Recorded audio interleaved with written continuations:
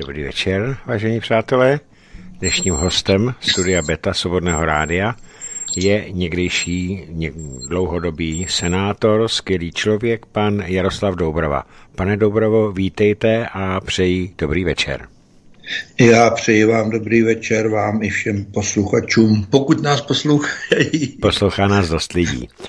V první řadě, protože jsme se eh, neviděli nebo neslyšeli tady na vlnách rádia od Nového roku, tak vám přejujeme za celé svobodné rádio a věřím i za naše posluchače do toho roku 2023 hodně sil, hodně dobrých nervů a především hodně zdraví, protože jakmile není zdraví, tak eh, všechno ostatní je potom eh, vytečné. Takže to je od nás ze srdce tohleto přání, který teďka letí k vám. To já přeji i vám všem také, protože máte pravdu, že, že zdraví je to nejdůležitější, co člověk může mít. Může mít sebe větší statky, může mít sebe větší majetky, ale nemá-li zdraví, pak jsou mu všechny, všechny statky a všechny majetky k ničemu. Přesně tak, ano, ano.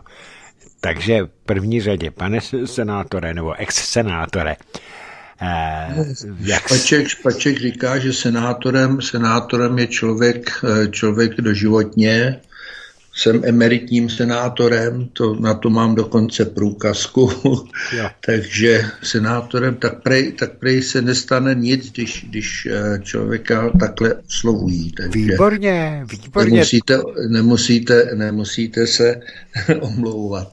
Takže já jsem, jasně, dě, děkuji moc, pane senátore, děkuji. Znáte mě, znáte mě, že na tomhle tom jsem si nikdy moc já nepotrpěl. Vím, já vím. Ale na, eh, na druhou stranu, na druhou stranu vy jste byl eh, jeden z nejvíc statečných eh, senátorů, potom jste doporučil svého kolegu, když jste z osobních důvodů nekandidoval a já to celkem chápal, naši posluchači taky. Nicméně co říkáte na výsledky eh, těch loňských podzimních senátních a komunálních voleb? Víte, já už od minulých sněmovních voleb eh, se nějak nemohu přesvědčit o tom, že, že se s nimi ne, z výsledky nema, nemanipuluje, že eh, to není, eh, není tak jako jako to předvedli eh, s Trumpem a obávám, vážně se obávám toho, že to bude i teďka v těch nadcházejících našich prezidentských volbách stejnej, stejná lumpárna, jakou, jakou provedli tam. Já jsem strašně rád, že se tam dostala, eh, dostala paní senátorka Amplová, protože tam myslím, že, eh, že jim tam by mohla zamotat, zamotat hlavu. O to víc mě mrzí, že nemohu stát po jejím eh, boku, že nemůžeme, že můžeme, ale, ale já jsem opravdu už, už se ucházet toho, o tom místo nemohl. To, teď víte, víte, co mě potkalo. Ano, a, ano, ano. A e, na tom nicméně, nicméně já si těch jejich výstupů velmi vážím a velmi, velmi jí přeji pevné zdraví, protože shodou okolností jsem byl toho, když, když u toho teda, když skolabovala, v tom, hmm. skolabovala v tom, v tom senátu a a strašně moc přeju, aby, aby, si, eh, aby se opatrovala, dávala na sebe pozor, protože, jak už jsme řekli, to zdraví je nejcennější a připravit se o něj, eh, to nestojí ani kvůli takovým darebákům, jako, je, jako, jako v tom Senátu jsou. Eh, já jsem to, abych se vám přestal, abych se vám přiznal, tak já jsem byl po těch minulých volbách parlamentních, tedy sněmovních, velice zklamán. Já až do toho jejich průběhu jsem českým voličům, českým lidem věřil, že budou mít pod sebe záchovy, tak jak to projevili v posledních eh, dvou přímých volbách prezidenta republiky. A bylo to pro mě ohromné zklamání, ale opravdu ohromné zklamání. Já jsem také stejně jako by přesvědčen, že ty volby jsou manipulované. To, je, to mě někdo... Redaktore, tohle, tohle je přece jenom, ty, ty poslední volby to bylo přece jenom o něčím jiném, protože tam ta manipulace byla naprosto zřejmá a očividná, protože to, co předvedl Rychecky těsně před volbami ano. prostě s, s ústavou, to, to prostě asi, asi v, v demokratickém státě nemá, nemá obdoby, to znamená, že dokázal, že jak si k demokratickému státu máme, máme hodně daleko, protože víte dobře, že kdyby nevymyslel tuhle lumpárnu, a já to jinak nazvat nemohu než lumpárnou, tak se tam tohleto šílený fialový uskupení nemohlo, nemohlo dostat a nemohlo, nemohlo by vypadat to tak, jak to vypadá. To máte naprosto pravdu. Navíc je to to těžší nebo horší, že on popřel tím, co udělal před těmi, sená, těmi parlamentními volbami, sám sebe. Protože on to byl, kdo vymyslel ten zákon, eh, který dával ty, pre, ty hm, jedno, 5% pro každou stranu koalice a pak to pro, popřel jako nedemokratické, tak on popřel sám sebe. Ten člověk by tam neměl co dělat. No to už dávno ne. Jako překvapuje mě, překvapuje mě i, i Zeman, že, že ho po druhý tam, eh, tam udržel, protože přece musel vědět, co je to za člověka. Je to pravda, ale teďka se říkáte tomu, že já jsem se dočetl, že prezident Miloš Zeman na závěr své, eh, svého působení na Pražském hradě chce toho Rycheckého odvolat. A teďka se vyjadřovali právníci, jestli může nebo nemůže. Eh, jak to vidíte vy jako zkušený politik? Jestli pak má právo prezident odvolat eh, předsedu ústavního soudu, anebo nemá? Já si myslím, že nemá, že nemá, že to, že to bylo plácnutí, eh, plácnutí eh, tak trošku do vody. To je stejně tak, jako když slyším Jardu Baštu, jak, jak odvolá, odvolá vládu a, a na tom, tak to, to taky není tak jednoduchý, jak asi, asi si představuje, jak to asi, asi vidí, vidí on. Takže já myslím, že tyhle, ty, eh, tyhle ty kroky by si měly všichni velmi, velmi pečlivě skonzultovat s odborníky a ty odborníky máme, že jo. Tak eh, a pak teprve s tím, s tím vyrukovat ven. Já si myslím, já si myslím že, že eh, ho odvolat nemůže. Já takhle, co se týče Rycheckého a teďka, co se týče toho prohlášení Jardy Bašty, já jsem s tím, o tom s Jardou hovořil, tak soukromně taky, a on než s tím vyšel ven, tak to projednával s několika ústavními právníky. A ti právě říkali, že za určitých podmínek eh, to udělat lze. Eh, na ano, za určitých podmínek. No za a my tady tu, podmínek, pane Kapele. Ano, a teďka my tady tu podmínku, jednu z těch podmínek máme, protože ta zní, když vláda evidentně pracuje pro, pr, proti svým občanům. A ten, ta podmínka, pane, pane Dobravo, tady je ceny elektřiny. My tady vyrábíme, já tady měl odborníky na, na elektřinu a my vyrábíme za, za, pakatel, prodáváme ji do německé burzy a oni nám tu naši elektřinu prodávají sedminásobně až osminásobně dráž, takže my patříme k největším vývozcům e- e- elektriky v Evropě, ale máme nejdražší, máme nejdražší na světě. A to je přesně to podle právníků ústavních. Pro, Ale to není, to není jenom tohleto, pane, pane Kapale, protože podívejte se, dneska, eh, jaký je problém sehnat léky a přitom, přitom eh, fialovci darebáci pošlou, pošlou na Ukrajinu 9 kamionů ano. léků, kteří, které nám tady chybí. Teď přece podporovat dneska vedení Ukrajiny je otevřené podporování fašistů.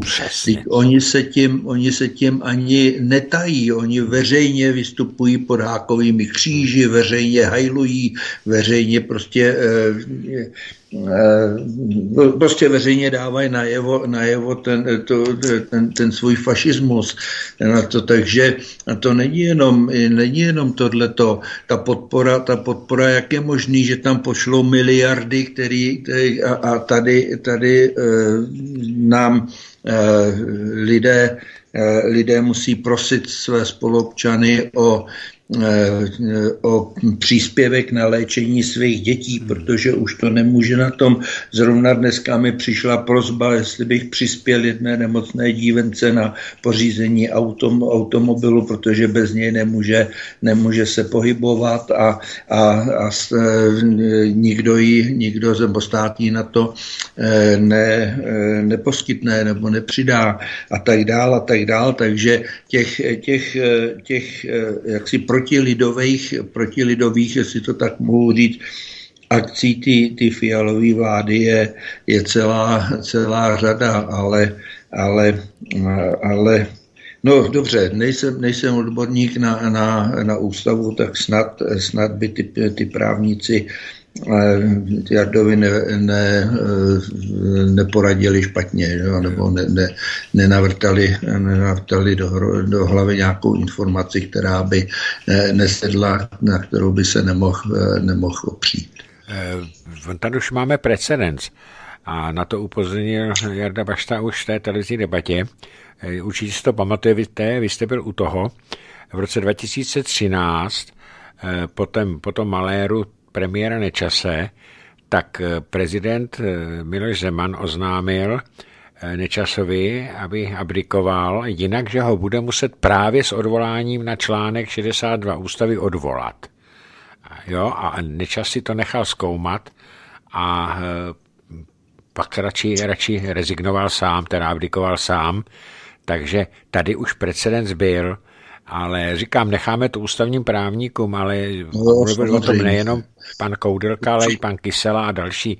Takže já věřím, že já znám Jardu hodně dlouho a vím, že to je no, člověk, taky. který, no já, já vím, že to je člověk pečlivý, že by si eh, nedovolil plásnout něco, co by neměl ověřeno. No, uvidíme, no, co se z toho vyklube. A navíc je to poslední šance, jak postavit této fašizující se vládě eh, hráz aspoň tím tou funkcí prezidenta. No, od tohohle prezidenta se toho moc nedočkáme. No, no to tak od tohohle už ne právě, no. To je přesně tak.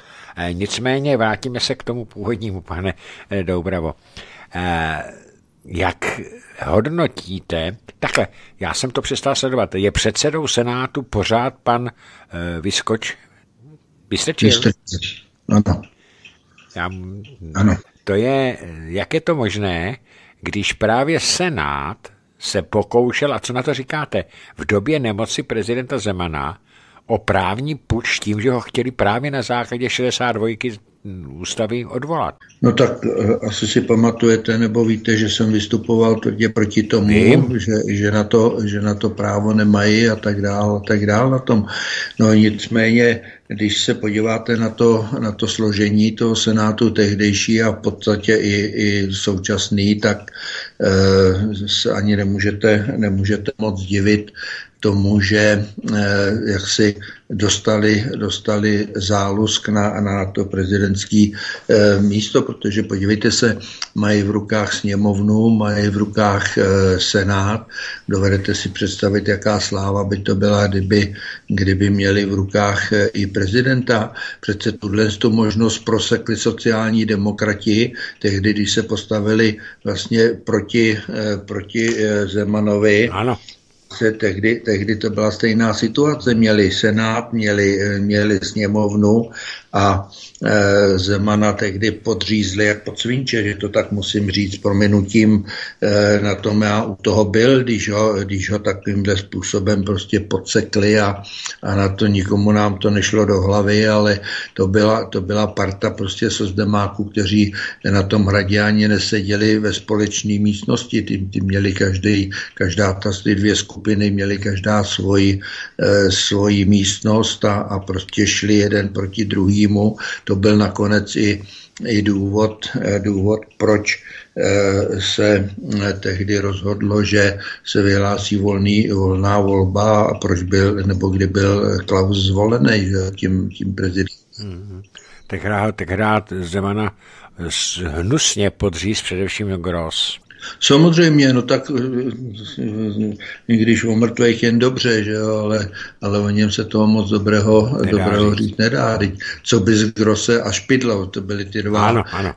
Vemte si, vemte si, co by z Grose a co by ze Špidly bylo, kdyby nebylo toho Zemana. Ano, ano, je to tak, je to tak. A oni se mu odděčili takovýmhle způsobem. No, takže je to přesně, já, mě to tenkrát vadilo taky. A navíc tam byl ještě další, protože na to bylo předtím, už tady se dělají opravdu ty. A co říkáte tomu, pane senátore, že jsou tady teďka už hlasy ve sněmovně, především to razí eh, věčný poslanec Marek Benda, který eh, od 18 nebo 19 let je ve sněmovně, eh, který tvrdí, a je jich víc, že národ není natolik inteligentní, aby mohl zodpovědně zvolit hlavu státu, že ti zodpovědní, výjimeční jsou ti, ti, těch 281 moudrých, takže by se to mělo změnit ústavním zákonem k tomu, aby to nevolili lidi. Ale že je zvolili do sněmovny nebo do senátu stejní voliči, stejní lidé, to jim jaksi nevadí. No tak on, on, on, on tuhle tu debilitu neprokazuje jenom on, to prokazují i, i další. Ano, jo. další. Vemte si, vemte si stěnou, stěnou paní předsedkyni eh, sněmovny na tom ty, ty její vejšplechty a, a, a, a ty, její, ty její hlášky, prostě, který na tom, teď, vemte si, a to byla snad Černochová, která, která měla říct, nebo řekla, ona to dokonce bylo, bylo myslím, i jako video, na to, že Eh, prostě eh, volit, volit by neměli mít právo ty vesnický vidláci, hmm. volit by měli mít právo jenom vysokoškolsky vzdělaní lidé, protože ty jsou schopni pochopit vlastně kam, kam tu, tu zem kormidlovat a tak dál. Ty, ty vidla ještě si ukousla tu, tu, tu klobásu, že prostě ty vidláci vesnický, že, že jsou to prostě burani, co by, co by byli bez těch, ta města, bez těch buranů vesnických, který je živý a podobně, že, a tak dál a tak dál. A myslím, že to byla ona, nechci, hmm. nechci, nechci byla, byla, byla, byla. Já myslím, že to byla ona. tak oni jsou teda... takže, takže podívejte se, jakým způsobem tlačili eh, tvrdě teda tu přímou volbu prezidenta, když to bylo, já jsem tehdy se přiznám, že jsem vystupoval proti tomu, aby to, že to nebylo připravené tak, jak by mělo, mělo tehdy být. Na to. Celá řada kolegů Senátu se mnou souhlasila, když jsem jim řekl prostě, proč s tím eh, nevystoupíte veřejně tak jako já, tak jsem se dozvěděl, že to prostě nemůžou, že by je vykmitli z eh, klubu a už by je nepostavili znova, hmm. znova jaksi do voleb a tak dál, co by se mnou udělali sdělovací prostředky. Já říkám, no udělali by s tebou to, co jsem udělali, udělali se mnou. Zeptali se mě, jaký mám důvody, prostě proč eh, být proti přímý, eh, přímý volbě a, a já jsem jim vysvětlil prostě ty svý, ty svý důvody a tím to skončilo skončilo, oni je, oni je zveřejnili, tak to ne, to já bych si nemohl dovolit, to, to, to, by, mě, to by mě jaksi zničilo v klubu a tak dál, takže celá řada lidí, který, eh, kteří eh, o tom rozhodovali, prostě byli, měli stejný názor jako já a přesto, přesto si ho nechali, nechali pro sebe. Já jsem tehdy jako hlavní, hlavní důvod eh, uváděl prostě to, že eh, je to špatně připravené, že to chce eh, ty změny kompetencí a tak dál a tak dál. Podívejte se, jak, jak to bylo šitý horkou jehlou na tom a nakonec všechny ty, všechny ty výhrady, které jsem k tomu měl, se nakonec potvrdily. Jo. Ano, já no si no to dneska, pamatuju. Dneska stejně intenzivně, dneska stejně intenzivně se ti, ti kteří prosazovali tu, tu přímou volbu, se intenzivně snaží, snaží opět ji zrušit a zase to dát těm 281 moudrým, kteří, eh, za které se mají a myslím si, že kdyby se dokázali podívat nebo postavit sami sobě zrcadlo, takže zjistí, že té moudrosti moc nepobrali. Že? No tak to není, musíme chodit eh, mezi poslance, jenom můžeme se podívat na premiéra. Já jsem nedávno na eh, internetu viděl video před volbami 21, ano. Eh, kdy hovořil naprosto něco jiného, než potom dělal, jo. Eh, já teda nevím, jestli... Nejenom vůči republice, ale i vůči Evropské unii. Ano, ano, ano. Znám to, znám to video, mám ho taky dokonce někde, někde i zaznamenaný pro věky příští. No, a jinak eh, v podstatě teď oni mají 108 a v Senát mají už pod palcem úplně a oni teď válcují demokracii takovým stylem, že to vypadá spíš jako v nějaké diktatuře, než v demokratickém státu, protože oni kašlou na všechny ty e, demokratizační prvky politické práce. Mám teďka na mysli, že od 90. Eh, roku vždycky byli předsedové některých výborů, sněmovny nebo senátu e, opozici patřili. A tady v podstatě opozice je pouze, když nepočítám ANO, který hlasuje v 60% s, s nimi, je SPD, a oni mu nedali jediného předsedu výboru. No, víte, ono celý, celý to složení eh, sněmovny klubů a podobně eh, je, je i protiústavní. No. Já jsem jim, já jsem jim tehdy, tehdy nabízel schůzku i s velmi renomovaným uh, ústavním právníkem. Měl jsem pro ně připravený přesný scénář toho, jak můžou se zbavit klubů a v podstatě by měli jeden, no dva vlastně dva, dva kluby Eh, ve sněmovně, protože ta pěti koalice nemá, neměla a nemá nárok na to, na to ten klub mít. To, ale oni to pustili, pustili jaksi z hlavy a, a e, neměli, neměli zájem. Proč, nevím, ale, ale prostě zájem o to neměli, takže jsem to nakonec pustil z hlavy, z hlavy i já, ale myslím si, že kdyby, kdyby si bývali dali říct, takže i, i to, to chování se a to jednání v té sněmovně by bylo úplně, úplně jiné, protože eh, ty, ty procedury, které, které tam prochází, je celá řada z nich může, eh, může dělat jenom klub a to oni by nemohli. No. Já nevím, jestli si tohle neuvědomili, neuvědomili, nebo prostě neměli, neměli, prostě neměli zájem. Padla tečka, prostě šli od toho. No, no ono to bylo, pane senátore, taky proto, že oni neměli podle volebních výsledků nárok na těch klubů tolika. To znamená, že by neměli tolik předsedů, neměli by tolik benefitů, neměli by tolik aut z řidičí, neměli by tolik výhod a neměli by tolik peněz. Takže oni no, se museli rozdělit. Jo, právě proto. Vemte si, že je směšné, že tam mají e, Piráti mají ve sněmovně čtyři lidi a z toho mají tři ministry. No.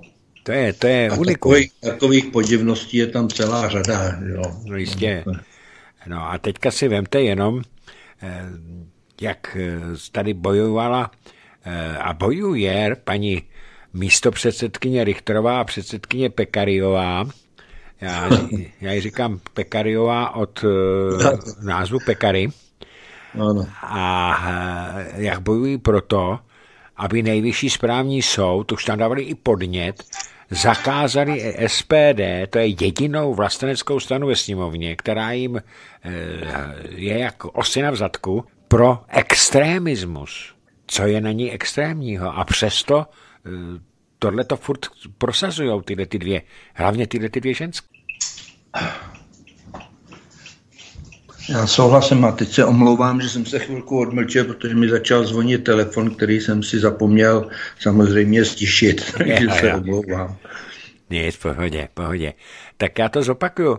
Eh, co říkáte na to, že se paní Pekariová a paní Richterová nevehementně snaží soudně zakázat SPD jako extremistickou stranu jenom proto, že projednává nebo apeluje na to, aby se neprodlužovalo zabíjení na Ukrajině. Víte, mě to strašně vadí. Já jsem si dneska přečetl, že tam umírá asi 600 vojáků denně.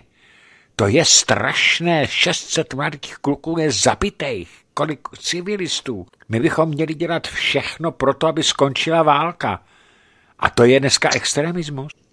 No tak zřejmě jedná podle pokynu e, svých velitelů z pozavody, že jo? protože tam je, tam je to naprosto, naprosto zřejmé, kdo tu válku vede a, a kdo, kdo se snaží, e, snaží natahovat co nejdíl, protože e, na, ní, na ní vydělává obrovský, obrovský peníze. No, takže takže eh, říkám, asi, asi plní příkazy z pozavody. No. Ano. Další věc. Vy jste byl leta starostou. Každý, a byl jste dobrý starosta, proto jste tam byl tak dlouho. Proto vás lidi volili. Každý dobrý starosta musí umět zacházet s penězi, aby tu obec nepřivět na buben.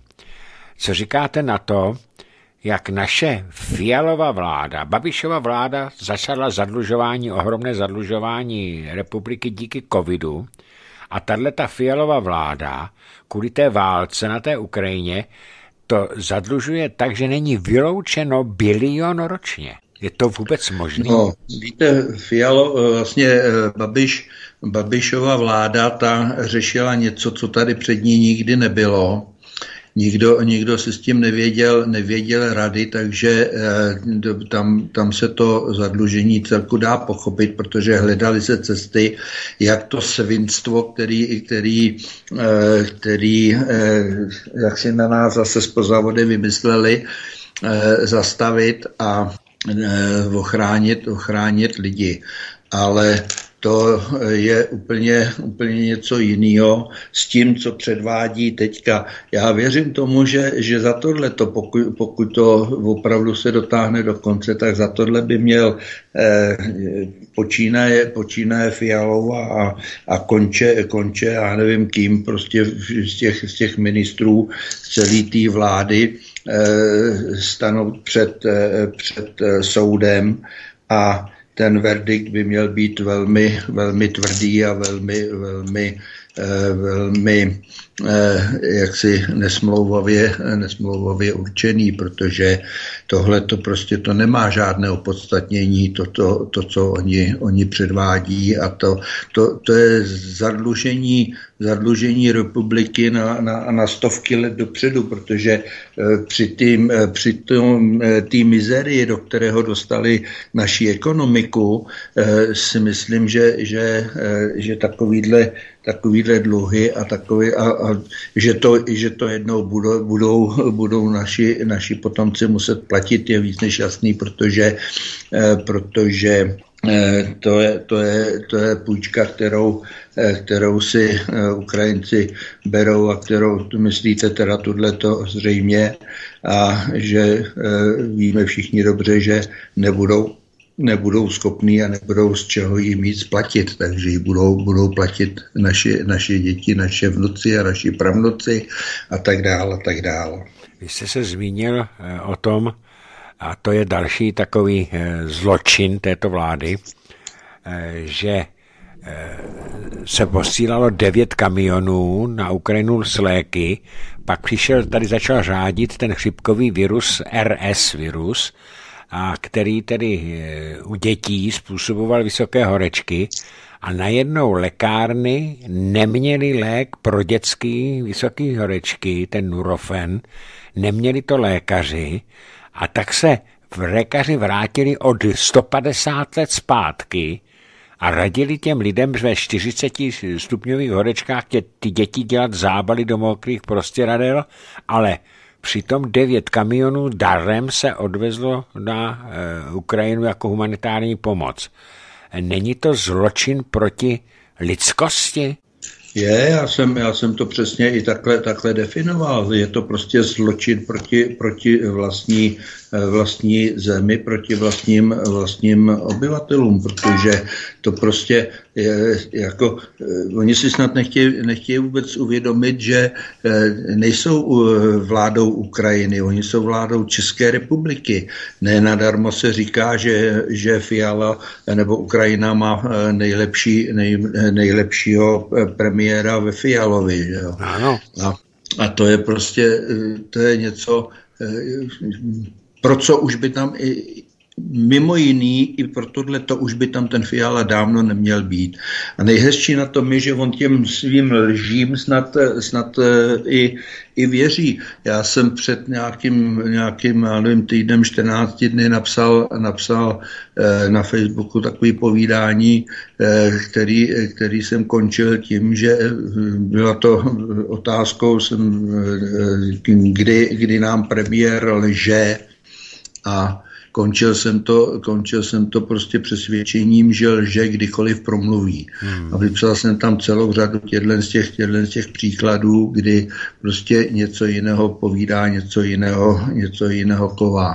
Ale znova říkám, tohle to je, tohleto je něco, za, za, za co by měla celá ta vláda jednou stát před, před soudem a být, být velmi, velmi tvrdě potrestána. Zatímco se eh, vrabci na pražských střechách povídají o tom, že Fiala to dělá proto, že má slíbený po konci své kariéry premiéra teplé místečko nikým nevoleného eh, no. evropského komisaře, eh, že odsud uteče a že bude bydlet v Bruseli.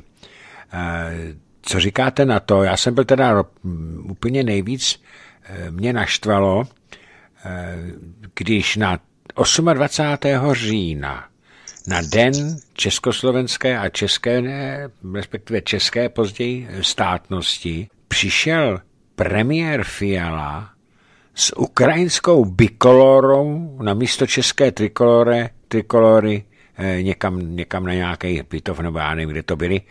Eh, on, to, to je, já jsem tomu nechtěl věřit.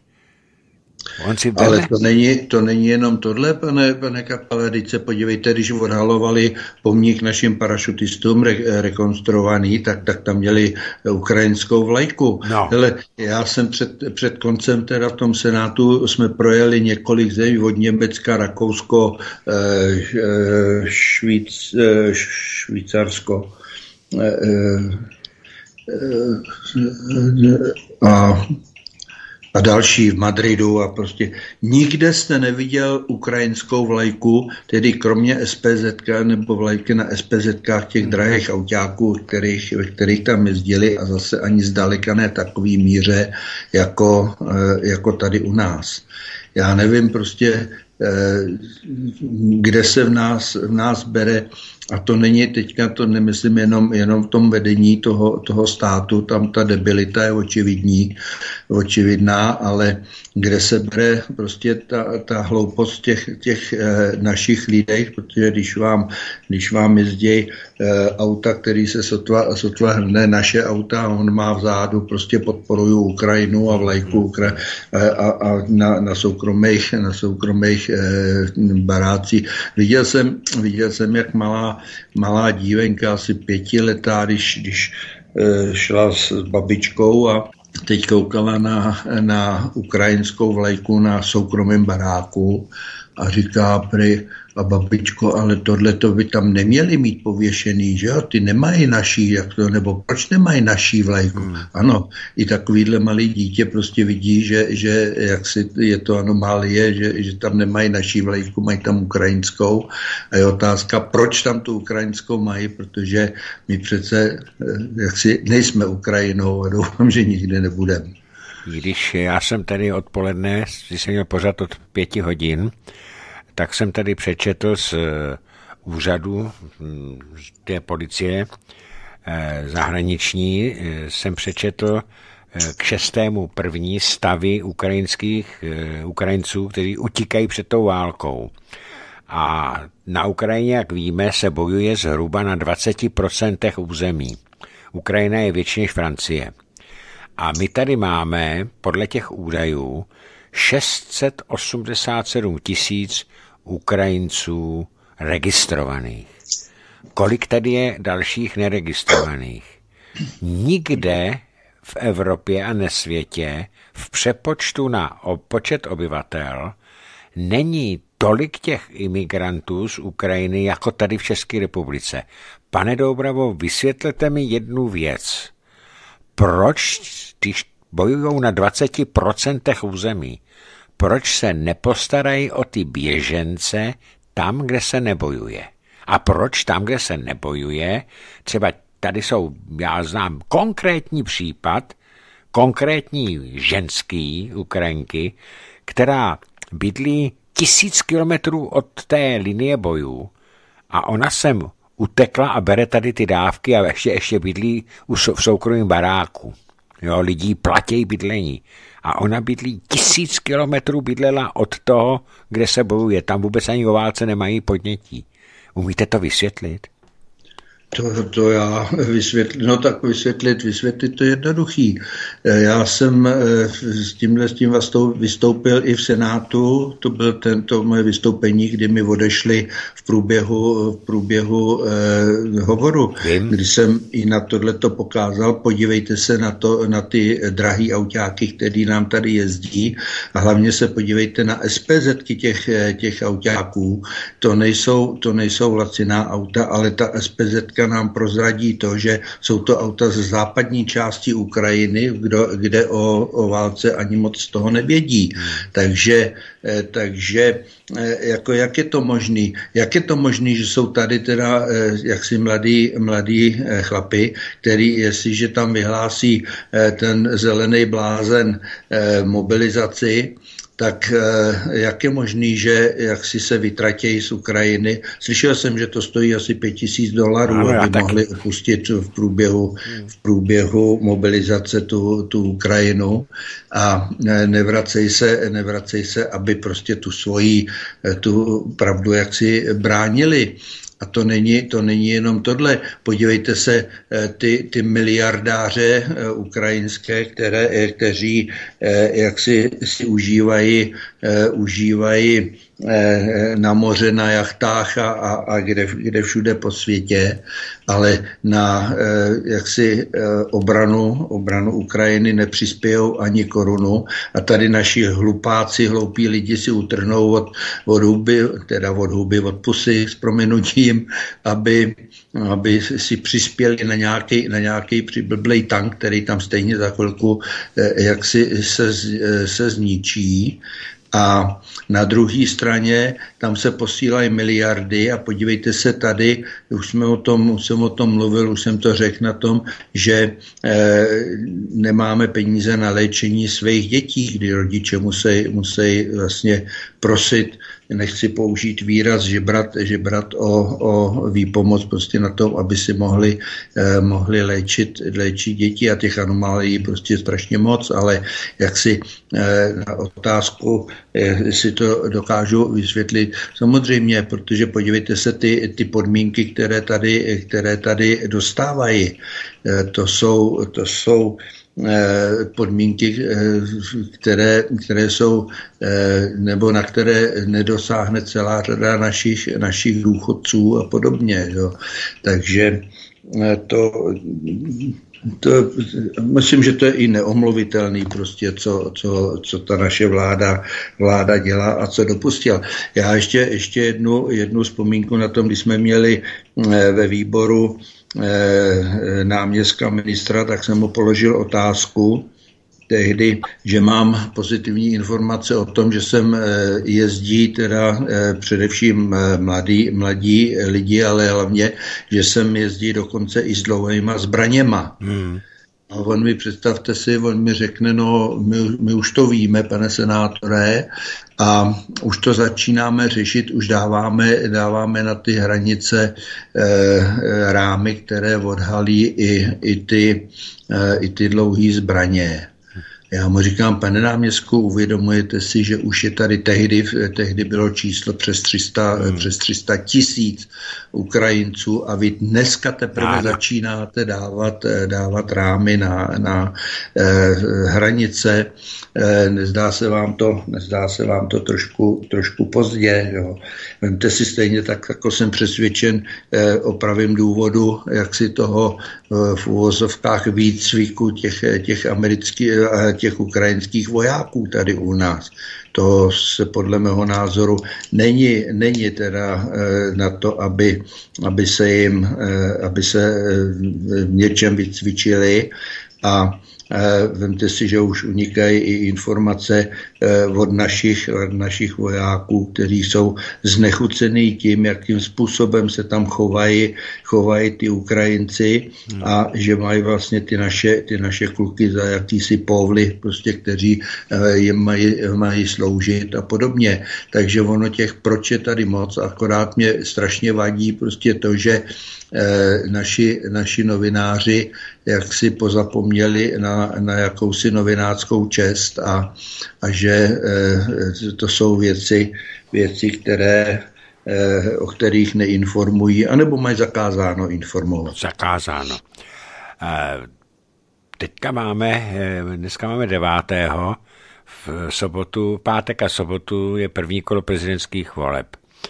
Svobodné rádio plně podporuje Eh, Jaroslava Baštu, už jsme o něm hovořili, eh, právě proto, že to je prezident, který eh, jasně proklamuje, že on, pokud bude zvolen, bude prezidentem pro český lid, pro Českou republiku, kterou bude upřednostňovat. Na druhou stranu, tam máme ty kandidáty pětikolky.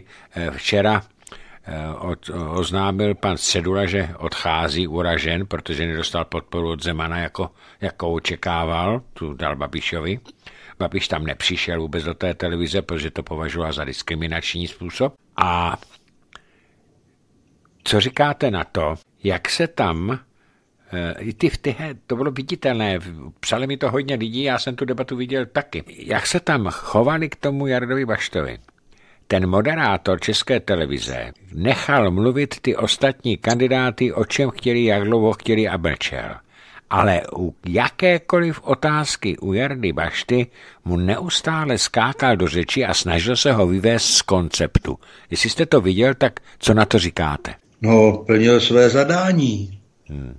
To je, na, to, na to je asi jednoduchá, jednoduchá otázka. Prostě plnil to, co mu, to, co mu nařídili a, a s, s, jediným, s jediným cílem prostě e, znemožnit, znemožnit, e, znemožnit ho nějakým způsobem prostě tak, aby e, ta, ta důvěra, která, e, která se v něj vkládá, prostě přišla, přišla v ní več. A jestliže jste zmínil středulu, já se přiznám, že já to, co proved, považuji za lumpárnu nejhoršího zrna od něj. Eh, pochopil bych, kdyby řekl, jako eh, rozmyslel jsem si to, odstupuju, dál, dál nepůjdu, ale to, že podpoří, podpoří prostě eh, šmelinářku s, takovýmhle na tom eh, ženskou, která neví absolutně nic, když se podíváte na ty záznamy těch hmm. jejich besed, tak ona dokonce ani kdy vznikla republika Česká, ani nevěděla, kolik je to let od vzniku České hmm. republiky a tak dál. Eh, ona bez, bez svého eh, poznámkového bločku, kde, kde měla prostě na tom viděla jste, že, nebo viděli jste, že vždycky listovala, než, než našla tu správnou. Hmm. A tohle to by chtěl mít někdo za, za prezidentku, pro boha, eh, já jenom ač na něj nevěřím, tak snad každý večer se modlím za to, aby, rozum, aby, aby národ, eh, národ měl rozum a, a tuhle tu se, to je stejně tak to jako ctěný pan generál, že jo? Hmm, to, je, to je taky na to. Podívejte se, když, když eh, kopal do, do nebo kopali do, do Babiše Estebák, Estebák, a jakmile přišel pan generál, zjistili Estebák, tak najednou to pokopání e, přestalo, protože by museli kopat i do pana generála hmm. a že měl podstatně horší, horší e, e, jaksi prohřešky než, než ten Babiš. A a přesto, přesto na to, no a dneska, dneska jim sklaplo, eh, já eh, jaksi v duchu eh, nebo eh, víte, oceňuji, oceňuji odvahu toho, toho, eh, toho eh, soudce, který prostě ten dnešní verdikt, eh, verdikt vynes, protože to byla další věc, která, která jim sklapla, protože já mimochodem to tvrdím od samého začátku, že tam k žádnému trestnímu činu ze strany Babiše nedošlo a tak dále, a tak dále. Ale ale to, co, to, co předvádějí prostě eh, s těma těmi, jakým způsobem šíleným prosazují právě to, tyhle, ty dva, tyhle ty dva, kteří by tam neměli, neměli v žádném případě přijít, protože to by bylo eh, jak, jak generálem, tak, tak, tak tou Nerudovou, eh, jak si, když, když vzpomeňte jenom, jak, jak je, jak je taková Eh, jak se dokáže, dokáže hodnotit, jak je, jak je mladá, že má největší, eh, nebo zapláče nad tím, jak má, jak má handicap, protože je mladá a pěkná. No ať se podívá do zrcadla. Ano, přesně tak. No. A jinak, ano. A, a, ta, a tak dál, tak bych mohl prostě těch, těch na tom, ale proto říkám, než, než tyhle ty dva, to by bylo zneuctění sídla českých králů, aby tam tenhle jeden druhý nebo druhý eh, druhý usednul a já se strašně, strašně, strašně modlím a, a to říkám přesto, že na, na nějakého pána Boha nevěřím, tak modlím, aby národ měl měl eh, rozum a, a tyhle, ty tam, tyhle ty tam neposlal. Ale on by k němu bych klidně při, přiřadil Fial, eh, Fialu, Fischera a, a, a Hischlera a další. takže ona to je skvadra, kde si těžko vybrat. Všichni, všichni kromě Jaroslava Bašty jsou, a včetně, včetně toho odstupu, odstoupivšího uh, středuly, tak jsou Aspen Institut a to včetně i Babiše. Ale já tady mám jedno, požádal mě pan, eh, a já se ho nesmírně vážím, eh, ekonomický a, a, a energetický odborník Vladimír Štěpán, zase tady byl mě v rádiu, budeme se muset domluvit, eh, tak mě požádal jménem dalšího výborného odborníka, pana Ivana Noveského, tak abych oznámil jeho přítele. No, no, taky, taky skvělý, taky tady u mě byl.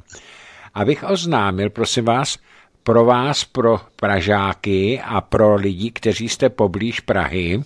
Nestrašte, já nejsem Pražák. Pro já to neříkám vám, já říkám našim posluchačům, kteří nás poslouchají. Zítra, 10. první, od 17 hodin se setkávají odborníci který budou podporovat na besedě Jaroslava Baštu. Je to v Praze, Štúrova ulice, 1282, Modrý pavilon se to jmenuje, je to první patro. Jede se tam metro Kačerov a met, stanice metra Kačerov, autobusem číslo 215 nebo 189, zastávka sídliště Krč. Takže vážení, kdo byste si chtěl tyto skvělé odborníky poslechnout, kteří mají důvody k tomu, aby podpořili kandidaturu Jaroslava Bašty a budete mít zítra od pěti hodin eh, čas, běžte se tam poslechnout jejich, jejich důvody. Já jsem s panem Štěpánem byl ve styku a můžu vám, pane senátore, říct, že, jsem, že to, co, to, co jsem dostal od něho, nebo co říkal, tak eh, to bylo tragické. On si totiž eh, nějaká, nějaká firma, která odhaduje to, co by se tady mohlo dít, tak už je otevřeno Overtonovo okno na to, aby zvedli tato vláda e, Fialova domovní daň na 1 až 2 z tržní ceny nemovitosti a to každoročně. A tito odborníci, říkal pan Štěpán, eh, mají jasno v tom, že pouze jedno, maximálně dvě procenta české populace, to jsou ti nejbohatší, by takhle vysoké daně mohli platit. Ti ostatní by o nemovitosti přišli, protože by je sebrali exekutoři. Ale o to, o to, o to jim asi jde. Ano. Protože když vemete, když vemete kolik, kolik Němčourů by se sem chtělo vrátit a, a když se podíváte na, te, na tu scenérii naší přírody na tom, tak se tomu ani nemůžete moc, moc divit, A to je, to je, cesta, to je cesta k tomu, jak by, jak by chtěli eh, prostě nás, nás okrást tak, aby, aby, eh, abychom prostě žádný, žádný majetky nebyli a byli, eh, byli závislí na tom, co nám oni dají a dovolí a, a, a co nám nedovolí. Tak, tak je prostě ale pro co už jiného by chtělo, chtělo nás jaksi probudit prostě k, k akci a a e, něco, něco už prostě začít dělat trošku jiného, než jsou jenom ty demonstrace. Mimochodem, když jste zmínil e, středulu, až, až teprve ten včerejšek mi Merci e, e, zdůvodnil, zdůvodnil to, proč e, jak si neviděl, neviděl jak si e, za za správné nebo možné v tuhle chvíli pokračovat s demonstracích, eh, přejít ke stávkám a, a prostě k radikálnějším, k radikálnějším akcím, než, než jsou ty demonstrace. Ty demonstrace jsou úžasné, já si nesmírně cením všech lidí, kteří tam přišli, ale už to nestačí, už se prostě musí dál, chceme-li něco dosáhnout. Je to no. tak, přesně tak protože tahle ta vláda je tak bezostyšná, že i kdyby bylo v té Praze na těch demonstracích a ve velkých městech všude milion lidí, jo, Milion v Brně, milion v Praze. Se za oknem, za, za, za oknem posmívat a budou říkat jen blbečkové si, eh, si demonstrujte, ano. se nám, se nám upozadí. Jo? Ano, přesně tak, přesně tak. Eh, další taková věc, pane senátore, vy jste známý tím, že jste se staral o peníze a o tu hospodář, hospodárnost. Eh, naše paní naše paní Nerudová a pan generál Pavel, to jsou dva hlavní kandidáti eh, pětikolky, tak prohlásili, že by oni vehementně prosazovali přijetí eura. Od 1. ledna eh, přijali euro Chorvati a všechno se jim zdražilo o 30%. Jo, to, už jsem četl i to, že naši turisti v létě, co tam budou chtít jezdit do Chorvatska, spláčou nad výdělkem, jak to bude drahé. Jak se díváte na to, že by lidi mohli volit kandidáty, kteří je chtějí ožebračit? Je to vůbec možné, aby ti lidé je volili? No já, já strašně doufám, já strašně doufám, že to, eh, to snad eh, k tomu, že snad nedojde, ale znova se vrátím k té, k té své obavě, kterou jsem tady, kterou jsem tady už, už vyslovil a to je manipulace, manipulace vo, voleb. Hmm, Ty manipulace by nedošlo Eh, nedošlo ve volebních místnostech, ty, ty manipulace by došlo prostě v tom, v tom eh, dalším stupínku. V podstatě tak, jako si to odzkoušeli u toho Trumpa, protože tam je, tam je to očividný a těch, eh, těch důkazů, které, které o tom mluví, Eh, nebo které o tom hovoří, je, je strašně moc, že to, tak, že to tak bylo a já znova říkám, že, že se toho, toho vážně obávám na to. Eh, podívejte se jenom ty pokusy o korespondenční volbu. Teď, to je lumpárna, to je, to je, to je vlastně eh, eh dát najevo, najevo to, že, že vysloveně se chystají, chystají na Eh, manipulace s volbami, protože eh, vemte si v Rakousku přece kvůli tomu zrušili i prezidentské volby eh, kvůli, kvůli manipulacím právě v korespondenční volbě a podobně. Jo. Ano, no a, a naši, já, já Víte, já jsem si dneska, dneska přečetl o tom, jak, jak v, na Moldavě, myslím, jak, jak zrušili zrušili celou, celou řadu eh, nebo vyškrtli celou řadu lidí z kandidátky, lidí, kteří se tam eh, narychlo přihlásili kvůli, kvůli volbám. Hmm. Paní starostka to eh, odůvodnila tím, že se, jak si tam objevili na poslední chvíli, nic pro obec nedělají, žádným přínosem nejsou, tak nevidí důvod, proč by, měla, proč by měli mít právo tam volit. A to je přesně můj, můj, můj názor na korespondenční volbu z ciziny.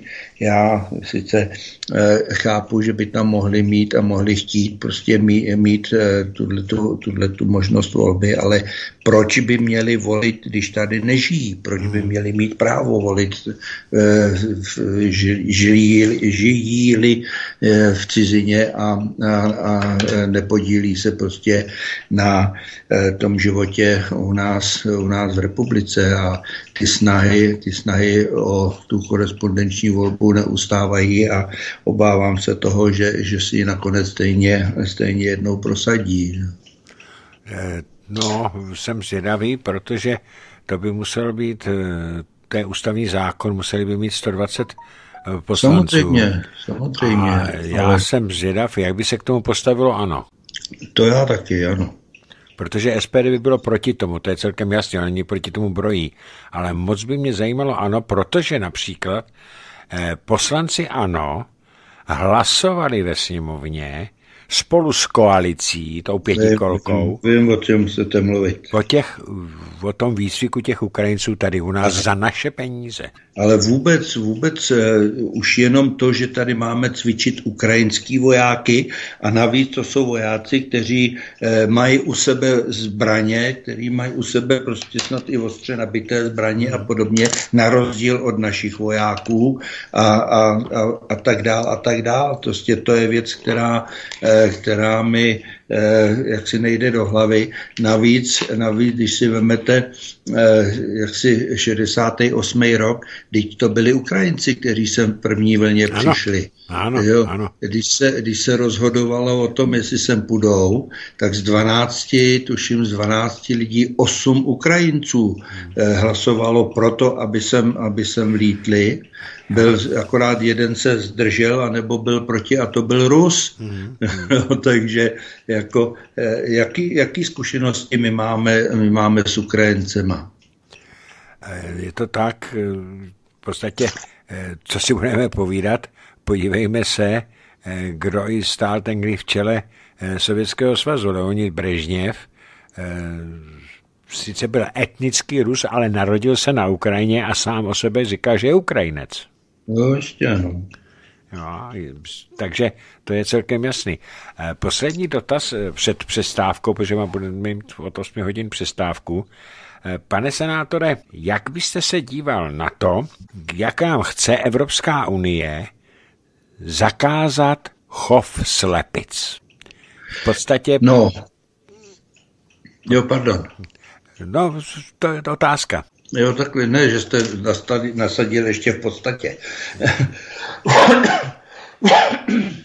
Omlouvám se, promiňte. No, jak se na to, jak se na to dívám, to je zase, zase podle mého názoru řízená, řízená eh, likvidace naší, naší potravinové základny, protože eh, jak si eh, víte, víte, co je mi divný, když, když se na to díváte, tak řekněte mi, ptačí chřipka tak strašně nebezpečná, že, že eh, jak si umírají, umírají tisíce ptáků a podobně.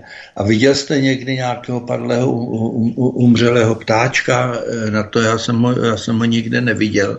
A akorát jsem slyšel o těch, o těch tisících slepic, který, který, eh, které jsou likvidovány ano, ano, ano. Našimi, našimi hasiči i, i, i mými, mými kolegy dobrovolnými. Na to, takže eh, kde je, kde je na tom? Je to, je to podle mého zase snaha, protože to není jenom likvidace těch sta tisíců těch nosnic, těch slepic, ale to je, to je likvidace i, i e, jaksi možností, možností e, koupit si vajíčko za nějakou rozumnou cenu a tak dále. Takže já znova já v tom vidím prostě vyslovený záměr prostě k tomu vytvořit, vytvořit, vytvořit eh, nebo zlikvidovat nám potravinovou základnu ještě takovou, kterou se jim nepodařilo ještě, ještě eh, jak si zlikvidovat a pokračují, pokračují v tom záměru i tímhletím směrem. Tak já se mám naprosto stejný, stejný názor na to. Eh, pane senátore, děkuji vám za první hodinku pěkného povídání. Eh, děkuji všem posluchačům, je jich velmi hodně, kteří nás poslouchají. Eh, vydržte, budeme pokračovat po přestávce ve čtvrt na devět. A já mám ještě jednu otázku na pana senátora potom a potom už bude místo pro vás. Můžete psát dotazy SMS-kami na telefon 731 720 756 a o čtvrt na devět, teda spíš chvilku po čtvrt na devět, eh, budete moct volat přímo i do vysílání. Pane senátore, buďte prosím, zůstaňte prosím připojený a za čtvrt hodinky se budu těšit opět na slyšenou. Já как пионер всегда готов k trudu i обороне rodiny. Tak. Máme po přestávce a já volám pana Jaroslava Doubravu, slyšíme se? Koliko já to musím položit a pak, pak to dopovídáme, jo?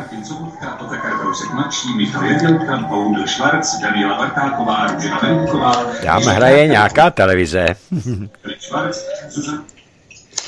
halo, halo. Tak, eh, už jsme připraveni? Omlouvám se, ještě. Já jsem telefon a e, když jsem to stačil všechno povypínat, tak Jasně, jsem...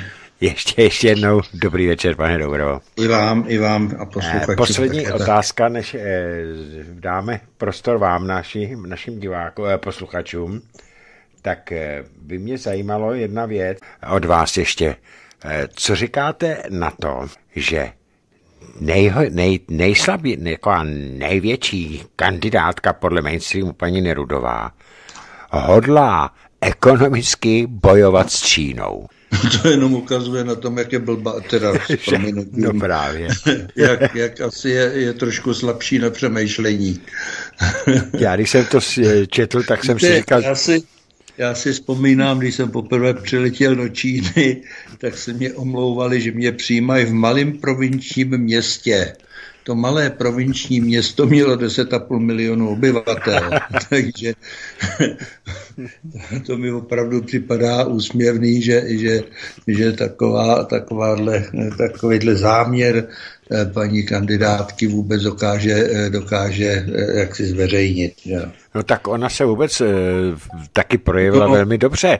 Když se jí ptali na to, kolik má, má lidstvo pohlaví, tak ona řekla, no asi dva nebo tři, jo, tak, za, tak, tak to, to hovoří taky o tom, co to je za, za ženskou, že jo? No, no jistě. No. Ale jinak ona, eh, jak jsem říkal, 600 tisíc korun v přepočtu eh, dávala za ty tituly, to jsem taky četl, za tituly eh, těch cizinců, kteří ani neštudovali, ale zaplatili si v eurech v přepočtu 600 tisíc korun a měli doktorský titul. Asi dostávala, ne? než Asi. dávala. Ona dostávala. No, říkám. Tak, máme tady první telefonát. Eh, dobrý večer, slyšíme se? Dobrý večer, slyšíme se. Tak, povídejte. Martin Pavlík z Valašského Meziříčí. Prosím vás, eh, pokud vás někoho překvapuje dnešní osvobození Bureše z Čapího hnízda, mě to překvapilo taky, ale v zápěti jsem si uvědomil, proč tomu tak je. Jestli to nechce, tak já vám to řeknu úplně přesně. Do včerejšího večera asi hodně lidí eh, váhalo mezi volbou Bašty a, a toho, toho Šmejda Burešova. Uh, já určitě budu volit Baštu, ne, že bych ho nějak měl rád, ale protože ti ostatní jsou ještě horší, takže Bašta mám hlas naprosto jistý. Ale oni to právě udělali, ti soudci dneska, aby oslabili Baštu proti Burešovi, protože dneska, když ho ti hajzlové osvobodili, no tak spousta lidí, spousta voličů si řekne, budu volit, budu volit toho, toho zmetka, že no, Oni totiž mají smrtelnou hruzu, aby, aby, aby Bašta neprošel do druhého kola. Proto dneska soudce rozhodl tak, jak rozhodl. Takže to je jenom je takový můj názor, nebo spíš jistota. Takže Mějte se pěkně, přepínám. Díky, naschle, pane Dobravo. Já si dovolím trošku nesouhlasit na tom, já si myslím, víte, já od samého začátku, eh, kdy, kdy tuhle tu kauzu na něj vytáhli, tvrdím, že tam se nedopustil žádného, žádného trestného činu a že to dopadne tak, jako to včera dopadlo. Takže eh, to ale samozřejmě je to, je to právo každého z nás. Prostě můžu se mílit já, může se mílit pan posluchač, ale, ale eh, jak si už za týden budeme vidět, vědět, jak to, jak to bylo. Já, jestli se něčeho obávám, tak je to právě to, ta manipulace já těch taky, voleb. Přesně tak, já taky. Jinak všichni experti tvrdí, že pokud by se dostal Jaroslav Vašta do druhého kola, já si to moc přeju, stejně jako vy, eh, se za to modlím, i když nevěřím, a tak, že by proti němu ten kandidát, kdyby to byl Bašta, tak nemá šanci protože proti eh, Baštovi by eh, volili i lidi z pětikolky, protože ty nesnášejí Babiše domorku kostí. A na druhou stranu, v rámci objektivity, já jsem taky přesvědčený, že ten netočapý hnízdo bylo vymyšlený, jenom aby ho mohli kriminalizovat. Jistě, teď já už jsem, jsem to říkal, ano, když, ano. Eh, jak si se jim hodilo, hodilo STBák, no tak to byl STBák, STBák, jak přišel eh, ctěný pan generál Eh, obr, obr Estebák, že jo, ano, proti, ano. proti Babišovi, tak najednou prostě tohle to šlo stranou, to už přestalo vadit a, a znova se intenzivně vytáhlo čapí hnízdo. Eh, mám tady no. teďka otázky na eh, SMSky, vezmu první SMSku. Dobrý večer, pánové, Kapale a Doubravo. Je velmi milé poslouchat názory člověka, který má vždy co říci a chtěl bych se ho zeptat, jaké vidí řešení konfliktu na Ukrajině a za druhé, zdali pozoruje v České republice nárůst fašizující tendence našich vlastizrádných politiků, datujících se začátkem převratu Majdanu na Ukrajině. Děkuji nejlepšímu vlasteneckému rádiu v Česku za skvělého hosta, přeji a jeho blízkým pevné zdraví a štěstí a doufám, že ho zase budeme slyšet v roce 2003 na Svobodném rádiu. Díky Bohdan ze Sleska. Tak. Tak to se trošku červenám teďka za ty chvály, které si určitě nezasloužím, ale... Ale, ale zasloužíte. To je, to je o něčem jiném. To víte, eh, postupující fašizaci jak, jak se mám dívat na to, že Fiala se e, v den osvobození nebo v, v, v rámci oslav osvobození nebo ukončení války byl poklonit německým, německým fašonům, kteří nám zavraždili, zavraždili téměř 400 tisíc našich lidí a jak si opomněl se, se po, stejným způsobem nebo vůbec se po, poklonit prostě těm, kteří nám tu svobodu skutečně přinesli. To přece není nic jiného než, než takovýhle projev. Jo. A e, já Eh, patřím k těm, kteří, eh, kteří věří tomu, že na Ukrajině se nakonec dokážou sednout k jednému stolu a dokážou se dohodnout, co a jak, jak s tím problémem dál. Ale to nebude záležet na Ukrajincích, to bude záležet na, americké, na amerických představitelích, na americkém prezidentovi a, a, a tý, těch jeho, těch jeho eh, jaksi no, řeknu radši spolupracovníků, protože eh, já myslím, že málo kdo dneska eh, si asi nemůže eh, nebo myslí něco jiného, než si myslím teda i já, že za celým tím problémem Ukrajiny stojí právě, právě Amerika. A oni se přiznali, přiznali i oficiálně vlastně, že převrat na Ukrajině v tom 14. roce je stál 5 miliard dolarů a ještě, ještě, ještě si pochvalovali, jak laciný to bylo a kolik, kolik získali a podobně. Že? Takže, takže eh, myslím, si, myslím si, že eh, ta cesta, ta cesta eh, toho eh, toho eh, jednání a, a Eh, sednutí si ke stolu eh, by byla rozumnější, protože podívejte se, kolik, kolik lidí tam dnes a denně umírá a co mě, co mě vadí, vadí Eh, je to, že eh, nevidíte ze strany Ukrajiny ani nejmenší snahu prostě ten, ty, ty problémy řešit.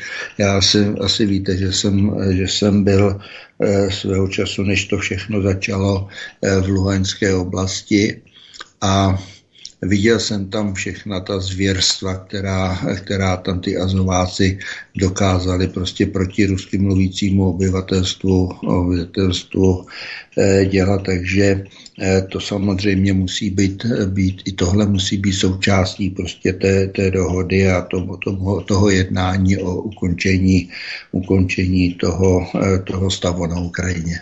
Já bych tomu jenom dodal, že když byla korejská válka, tak než bylo uzavřeno příměří, tak proběhlo 157 jednání o tom, jaké bude vypadat to příměří. 157. A nakonec to příměří bylo uzavřeno, přestali umírat lidi, taky tam umírali tisíce lidí a e, to příměří tam trvá dodnes od toho, toho já nevím, 650. roku tak proč by takovýhle příměří nemohlo být i na té Ukrajině, že jo? No, ono tam je přece jenom asi trošku, trošku rozdíl, protože já si myslím, nevím, myslím si to jenom, že eh, v Koreji nebylo tak, takové množství a tak, tak zarytých fašistů, jako je, jako je na Ukrajině. To tam... nebylo. Ano, to nebylo. To nebylo. A teď ještě jeden dotaz tady odsud, než mu zase další telefon. Eh, co říkáte, pane Doubramo, na to, že u nás, když tady kluci pitomí, mladí, hroupí, nevzdělaní, navíc ještě opilí, občas zahajlujou, tak jsou za to stíháni, byli odsuzováni. Ale vůbec naší justici nevadilo, když si tady 15. října udělali Ukrajinci, kteří tady jsou u nás za naše peníze jako váleční uprchlíci, udělali na Václaváku mm, demonstraci a tam byly vidět hajlovací, hajlující ženy, ale i děti. A to jim nevadilo těm našim, že 15.10. bylo výročí úmrtí Bandery. Tak kde to no, jsme? To je, to je jednoduchá otázka. Co dělala naše policie? No ano, nic. Jo. Nic. A, a druhá otázka, jak je možné, že nic nedělala? Protože to bylo očividně zdokumentováno všechno na tom, takže jak je možné, že, že eh, jak si eh, nekonala, ač konat měla? Jenom proto, že se tady vytvoří taková, taková hysterie proti, proti prostě eh, jakýmukoliv projevu prostě nesouhlasu s tím, co se na Ukrajině děje, že hod eh, ani, ani ty policajti eh, nevyrukovali ven zřejmě ze strachu z toho, co by, co by s nimi bylo. Ano, ano, ano, je to tak. Je to tady zkrátka dvojí metr a to člověka rozčiluje. Je, to něco hrozného. No, tomu další otázku. Eh, dobrý večer vám oběma pánové. Slyšela jsem pochybnost od nějakého politika, že se obava, aby ti Ukrajinci necvičili naše vojáky, až tam budou vyslaní, aby to prý uměli. Děkuji za váš názor, Silvie z Ústí. Takže oni, podle mého, než dám po slovo panu Doubravovi, paní Silvie, tak eh, ti Ukrajinci necvičili naše vojáky, ale ti Ukrajinci byli cvičeni někým vůbec se neví, kdo je cvičil. Protože na to vláda i poslancům parlamentu udělila embargo, že jim nechtějí vůbec nic říct. Otázky tam padaly ze strany SPD, nebylo jim odpovězeno. Pane Doubravo, jestli k tomu chcete dodat něco? Ne, to, to tomu není, není co dodat. Je to tak na tom, já jenom to, že jsem, jsem slyšel, slyšel i takový názor, nevím, jestli, jestli ho vzít za, jaksi za, za opodstatnění, ale že to nejsou ani ani vojáci, kteří by se měli cvičit v nějakém zásahu, ale že jsou tady na to, aby potřeli případný nepokoje, které, které asi naše vláda očekává. Takže těžko říct, vlastně ten, ten důvod na tom. Já si myslím, z toho zase z těch informací, které tam odsud unikly, že to žádní nováčci nejsou, že to jsou, že to jsou vojáci, který, kteří prošli, prošli bojovými akcemi, takže eh, jako nevím, nevím, co by mohli, eh, co by mohli se tady ještě jiného naučit. Já jsem ten názor, co říkáte vy, taky slyšel. Tak máme teďka tady další telefonát. Dobrý večer, Pepo. Eh, dobrý večer, vážený pane Kapale. Zdravím váženého pana senátora Doubravu. Děkuji. Je mi ctí. Eh, děkuji za krásný ukončení první hodiny eh, vysílání na svobodném rádiu. A chci se zeptat, co nás asi tak může čekat v národě, kdy nejvyšší činitel ústavního soudu se e, cítí být e, více Evropanem než Čechem. Jo. Takže co nás tady asi v tom národě může čekat, když náš nejvyšší ústavní činitel tvrdí, že je Evropan a ne Čech. Jo, to je velmi smutné a to je na zamyšlení všem posluchačům. A děkuji moc a hlavně jsem volal, pane Doubravo, eh, děkuji za všechno a přeju zdravíčko, strašně moc zdravíčka, úplně vám posílám, držím všechny, všechny do vaší celé rodiny a moc vás mám rád. Dobrou noc. Dobrou noc. Já vám strašně moc děkuji, příteli zácný, mohli vás tak nazývat na to. Víte, Eh, mě to vaše eh, povídání, jak si připomnělo, eh, připomnělo tak trochu historii Říma. Když si vybavíte prostě ty, to, to postupné jaksi vytrácení se a, a ztrácení samostatnosti a prostě ten, ten, já se nebojím říct, ten pád toho Říma, tak zjistíte, že v podstatě ten konec, ten konec toho Říma eh, je nápadně, nebo ta, ta naše současná situace v Evropě je nápadně podobná právě tomu konci toho, ří, eh, toho Říma. A já se obávám, obávám toho, že eh, jak si eh, to, to, to, nemilé, to nemilé těsto, které si, které si eh, Evropa eh, eh, jak si zadělala, a tím myslím teďka to, to, ty nesmyslné sankce proti Ruské federaci, kdy se připravila o energie, i když vlastně připravila, kdy Amerikou byla připravena o, o, o možnost jaksi kvalitních kvalitních a eh, dostatečného množství eh, energie, energie, energií, protože to není, to není, není jenom plyn. A podíváte se na to, co jsem, co jsem teda dováže a jak nad tím, nad tím eh, Amerika eh, bohatne. Já si myslím, že to je dokonce jaksi jeden z posledních pokusů Ameriky zachránit se, protože vědí, že Eh, se na ně, že se na ně řítí prostě eh, eh, opatření, které jim, které jim nebude, nebude dvakrát po, po, po srsti, myslím tím Eh, pokud je pravdivé, teda prvně opravdivá ta informace o setkání, vánočním setkání, jak si tří velmi, velmi vlivných, eh, velmi vlivných eh, šéfů, šéfů stát, států, takže takže tu Evropu nečeká, nečeká nic dobrého a čím dřív si tohle uvědomí, tím, tím by mohla mít ještě šanci na záchranu. Ale jestli to bude ještě chvíli trvat, tak, tak eh, prostě nastává ten, ten konec té západní eh, kultury a jak si přichází, eh, přichází kultura z východu a tím samozřejmě nemyslím, nemyslím jenom jenom Ruskou federaci, myslím tím teda všechny další, Čína a další a další, protože myslím si, že opravdu jsem, jsem přesvědčen o tom, že, že ta, že ta ten stav té Evropy už, už je velmi žalostný a k tomu, k tomu, aby se zachránila, už moc, moc času nezbývá. A samozřejmě, že s tím, s tím i souvisí, souvisí obavy a nejenom obavy mé, a to je, to je obava z, tý, z jaderného konfliktu, z, jaderný, z jaderných, obava z jaderných zbraní a podobně. Ano, to mám taky, to mám taky. Tak další telefonát vemu. Dobrý večer. Halo, dobrý večer, pane. Já bych rád eh, něco řekl do vašeho vysílání. Jen tady máme otázky a odpovědi, tak jestli máte otázku, prosím. No, já mám takovou, ano, prosím, prosím. Já mám, já mám takovou otázku, že jsem, eh, přemýšlel jsem nad tím, jak zdůvodnit, eh, dejme tomu, odvolání vlády a posílal jsem dokonce nějaký maily já, jistě, jistě, ale prosím, položte otázku. Tak, ty lidí, co chtějí se zeptat něco, tak je hodně, tak to musí být stručné, prosím vás, jestli můžu poprosit.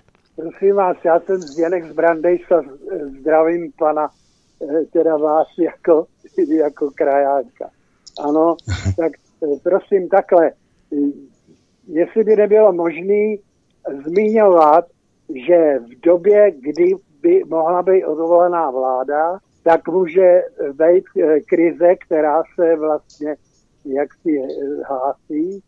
A v tom případě jsou jiné možnosti, eh, jaksi i právní a, a takový prostě, abych nedovedu to teďka popsat, ale prostě tahle situace by mohla jaksi ovlivnit ten, ten počin toho, že by, že, že by se mohlo eh, ta vláda odvolávat. Dobře, děkujem, vyháříme se jo. k tomu. Děkujem. Prosím. Naschledanou. Naschledanou. Tak, pane Bašto. no tak... Ne, pane Bašto, pan no, Bašto Bašto, o tom mluvil. Bašto, to pane Dobravo. Asi to nějaký den.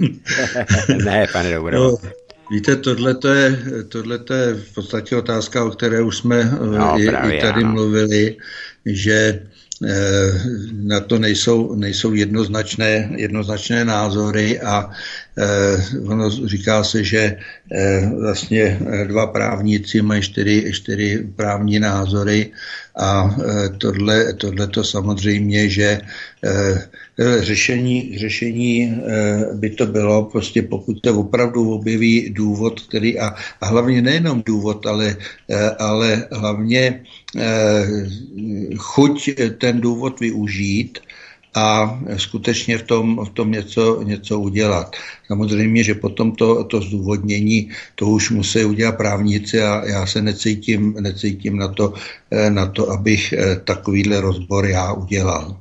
Já bych jenom dodal, pán se ptal na to, jestli může tahle vláda v podstatě znemožnit odvolání eh, prezidenta, eh, kdyby se dostal pan Bašta na ten, na ten post. Vláda přebírá odpovědnost a neplatí zákony pouze, pouze ve výjimečném nebo válečném stavu. Žádná ekonomická krize to vládu ne, k tomuto, aby byla neodvolatelná, tak to neopravňuje pouze kdyby byl ten výjimečný anebo válečný stav. A tak to jsem špatně pochopil, tu otázku, to se omlouvám. Pohodě. Tak eh, další dotaz. Dobrý den, ve volbách jsou tři stáje. Serešovci, Babiš a Bašta.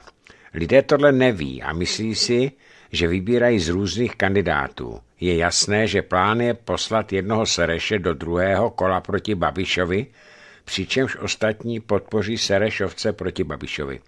Pan Bašta nemá mediální tlačenku a lidé ho vnímají jako dalšího starého prezidenta. Když systém měl možnost, jako já, relace s panem Doleželem z USA a ten tenkrát předpovídal, že si Pavla vybrali za prezidenta. No, měl pravdu, píše posluchač Jiří. Já si to teda nepamatuju, že bychom tehdy o, Pavla se, o Pavlu se bavili, ale je to docela možné, už je to dlouho. Tak eh, jak to vidíte, ten, tuto připomínku, pane Doubravo, že je plán, tak to je celkem jasný. USA to dělá tak, že si ten deep state postaví kandidáta republikána, kandidáta e, demokrata a ať hraje, kdo vyhraje, je to jejich člověk. jenom když se jim to vymkne ten kandidát z ruky, jako to udělal Kennedy, Nixon a nebo Trump, no tak mají potom zamotanou hlavu. Takže... Nixona bych z toho trošku tak vymul, ale... Ale, je, ale taky tam byl, taky tam byl. Určitě, určitě pravdu.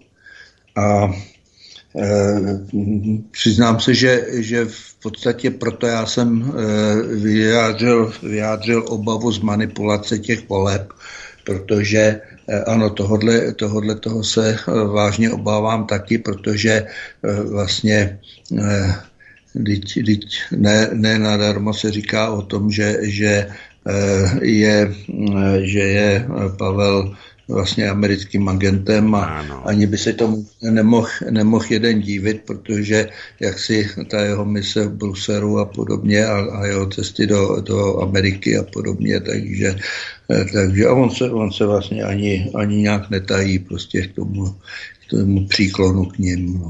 Je to tak. Je to tak. Co se týče jenom toho stáří prezidenta eh, u osoby Jaroslava Bašty, tak já bych jenom dodal, že mezi jednoho z nejlepších německých kancléřů, který postavil vedle kancléře Erharta Německo na nohy, byl kancléř Konrad Adenauer. A ten byl zvolen jako kancléř, samozřejmě s podporou Spojených států, když mu bylo asi 88 let a vydržel tam do 94 nebo 5 let a byl velmi, velmi dobrý pro Německo pracoval. Takže na druhé straně se podívejte na eh, prezidenta eh, Johna, teda na prezidenta Roosevelta, Franklina Delano Roosevelta, který byl pětkrát podstatě e, zvolen kvůli válce, byla tam výjimka a většinu z, toho, z této doby vládl z kolečkového křesla jako těžký invalida. A jaký to byl prezident. E, já jsem přesvědčen o tom, že Jaroslav Vašta je na tom fyzicky velice dobře, já ho znám a e, jsme kamarádi a že by to prezidenta zvládnul velmi snadno a je neústupný. Vy jste to sám říkal, pane Doubravo. A takového člověka, který je v podstatě neústupný a řekl bych neovlivnitelný, tak takového bychom tam potřebovali. No to, to samozřejmě, že, že ano, já vám ale k těm příkladům, který jste, který jste, které jste dával, dám e, ještě jeden a to je Hendrik Kissinger a hmm, podívejte hmm, se, jaký, jak, jak ho, jaký vliv do dneška má, ano, přes, ano. že už tu funkci nevykonává. Že? Ano, ano, a to je mu asi 96 let, že jo? Tak, tak. Ano, je to tak. Takže a na druhou stranu máme mladé lidi, v podstatě, eh, kteří nemají fyzické problémy, ale za to jim to nemyslí. Jo, podívejme na paní, na paní Nerudovou. Paní Nerudová by jako prezidentka se dala do ekonomické války s Čínou. Mě by zajímalo potom, kde by třeba eh, si mohla zatelefonovat, když by eliminovala Čínu. No, no, tak jako jestliže dokáže sama říct, že má velkou nevýhodu, že je mladá, krásná, no, no tak, tak bylo. Si, to, tak. vysvětluje, to vysvětluje, vysvětluje mnohé. Zdravím vás, pánové. Středula zostudil odbory. Není na místě s ním vyrazit futra? Nebo je nám už všechno jedno? Děkuji za odpověď, píše Jarda z Plzně.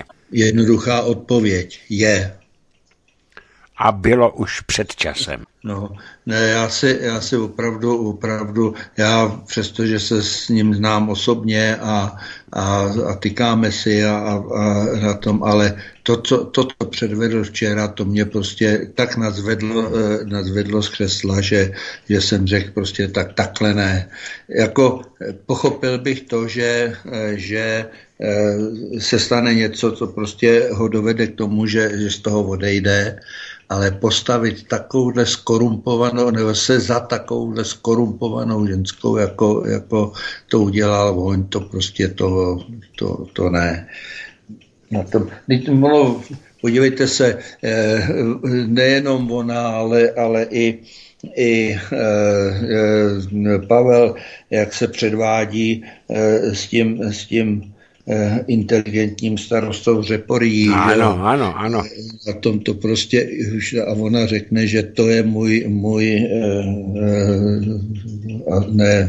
Poradce poradce, ona ne, ještě, ještě do některé do nějaký té funkce ho chtěla, nebo že ho, že ho jmenuje, no něco, něco takhle ubohého, prostě, eh, že vůbec se s tím nechá vyfotit s takovýmhle člověkem no a tak dále. A jeden, jeden i druhý. Takže já si myslím, že to svědčí o úrovni těchto těch dvou kandidátů, prostě, že, že se dokážou eh, snížit prostě k tomu, aby se, aby se dovolávali podpory i takovýhle individua. A ono ještě navíc eh, bych dodal, pane Doubravo, eh, co říkáte na to, že odbory jsou vždycky levicové, hlavně v kapitalistické společnosti, protože za, snaha kapitalistů je vydělávat peníze na úkor dělníků a snaha dělníků a jejich odborových předáků je zase zabezpečit slušný výdělek a slušné peníze, což je levicové ten eh, v podstatě aspekt. A naprosto nepochopitelný, že předseda odboru, tedy Levičák, ke kterému se přiznal, Údajný, no. No, takhle on to řekl. Já no, vím, no. no.